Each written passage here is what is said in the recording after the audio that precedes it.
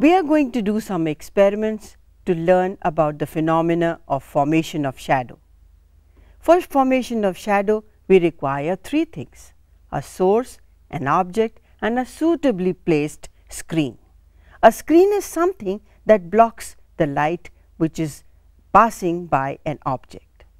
So, the source sends out the light onto the object and the object blocks some of it and the rest of it that transmits across it is captured on the screen.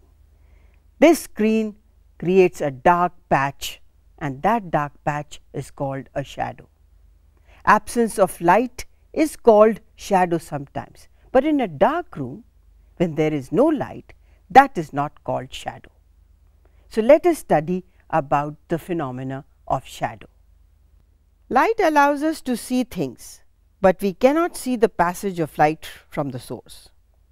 We can only see a beam of light from a source if there is something to reflect or bounce off from. Dust particles, smoke, haze and objects. Materials block or allow light to pass through them. As light falls on objects, it illuminates them. It is blocked by some objects, it passes through others. The ones that block the light are called opaque, the ones that allow all the light to pass through are called transparent and some that allow partial passage of light through them are called translucent. For the formation of shadow, we require three things, a source of light an object on which the light is falling and a screen to trap the light which is going past the object. This particular shadow formed over the dark patch formed over here because the light is being blocked by this object which in this case is opaque, is dark. So, the dark patch which is formed on the screen is called the shadow. It is the absence of light on account of it being blocked by the object. Shadows do not necessarily have to be dark. Shadow can also be colored. If you watch carefully, these are colored objects and you can see that you get a colored shadow.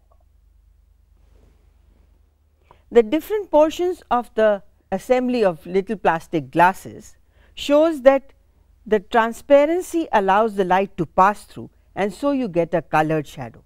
You can also get colored shadow if the color of light changes.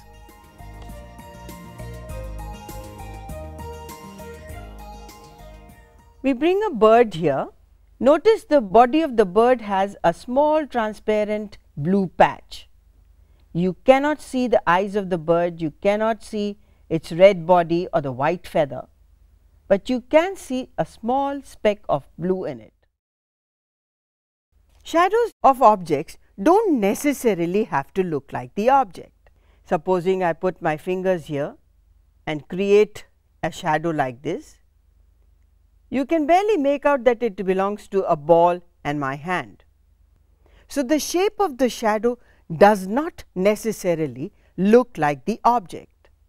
Now, observe the shadow of this plate.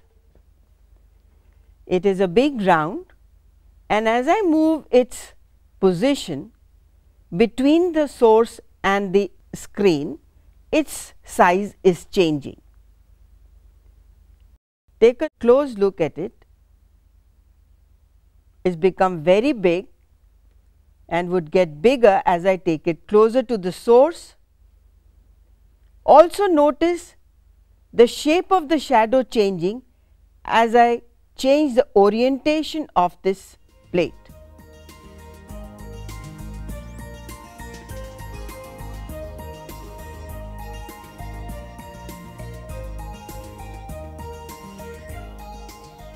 So, shadows do not necessarily look just like the object. The size may be different from that of the object, the shape may be different and would depend upon where this object is placed between the source and the screen. Also notice that its sharpness is not the same in all the locations. When you are closer to the screen, you get a very sharp shadow. When you are closer to the source, there is a slight haze around the shadow.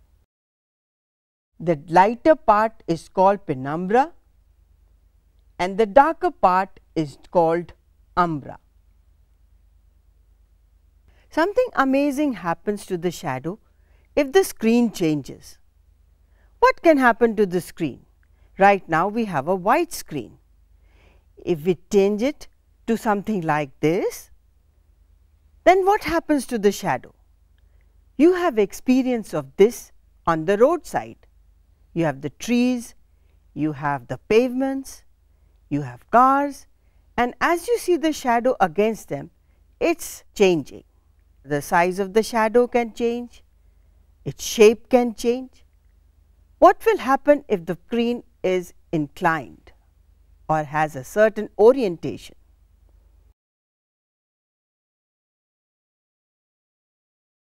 From the activities, we learnt about the formation of shadows.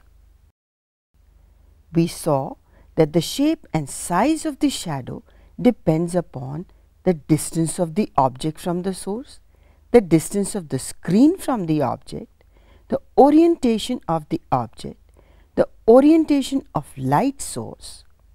Of course, also saw the nature of the screen mattered and that the shadows can be colored if the object is translucent or if the light source is colored.